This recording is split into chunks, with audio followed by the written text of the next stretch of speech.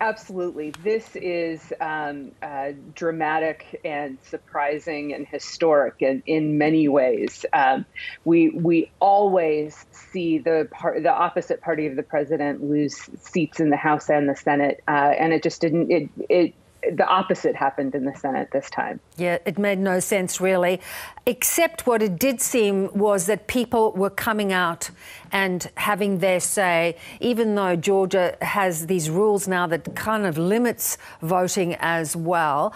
What does it say about those changes to the rules and also the fact that this was a, another Trump backed candidate? Well, oh, to me, what's most fascinating about the uh, the Georgia outcome uh, is that we know that. Um, that people don't vote in the US if it's costly to vote, if it's made more difficult to vote, and they do vote when they're energized. Uh, and one of the things that, as political scientists, we're seeing is coming out of these changes in Georgia um, is efforts to make it harder to vote are energizing to um, to largely, frankly, Democratic voters, uh, and so they really have backfired in that they're making uh, they're they're exciting the electorate of the opposite party, uh, and I think that's what we saw yesterday. Yeah, interesting. So you know, to an Australian audience, 51. What's the big difference between 50? It's still a majority. How how much of a difference is that extra vote going to make? Well, there's one fact I can tell you that'll make this clear, which is that there are 11 U.S. senators over the age of 75.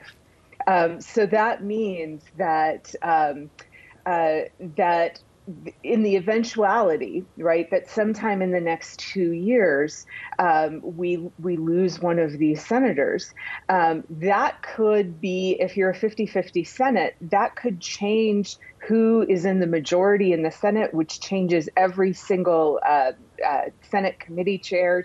Um, this is this is sort of a cushion for resignations, deaths, anything else that might happen uh, over the next couple of years. Yeah. All right, let's look now uh, more at Donald Trump. His organisation today found guilty of carrying out a criminal scheme to defraud tax authorities. What exactly was it found guilty of, and how much is it going to impact the organisation? Well, the the effect on the organization um, is going to be, I think, interesting in the in the sense that the fallout is is probably going to take a while. Um, essentially, what this was is uh, the Trump organization was. Um, uh, was compensating many of its employees with uh, with non-monetary benefits like apartments in New York City or, or um, uh, tuition for uh, for children or grandchildren in New York City, all things that that have a hefty price tag, um, but no tax um, uh, requirements afterwards. And so this was the issue: is that these were seen as um, as avoidance of taxes, um, and so it so it could have big effects on the Trump organization and its ability to uh, to to borrow money uh, and, and, continue to do some of the business that that, that it has done. Um, for for 50 years. Yeah, he's called it, of course, a witch hunt, and uh, uh no doubt many of his supporters will likely see it that way. Do you think it's going to damage his presidential chances? I I think not, but I think that might be because you're right. It won't have much of, a, of an effect on his supporters, but his supporters really seem to be a dwindling number of the American uh, uh, populace, uh, and so I'm not sure that this is going to be the the piece that's going to have a big effect on a lot of uh, of voters. Um, but it does kind of continue this steady drumbeat of, of bad news for Trump. Yeah. Imagine, though, his calls to abolish the Constitution might affect many more voters.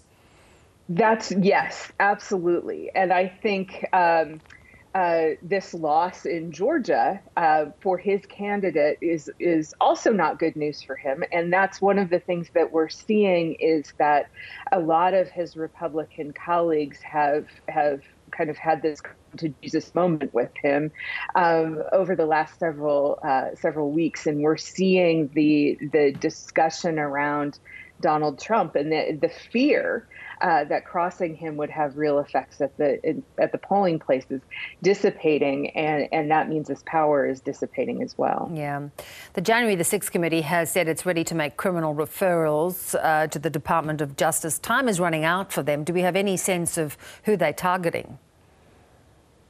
Um, not really. Um, I think what I think the the big question on everybody's mind is will Donald Trump make the list?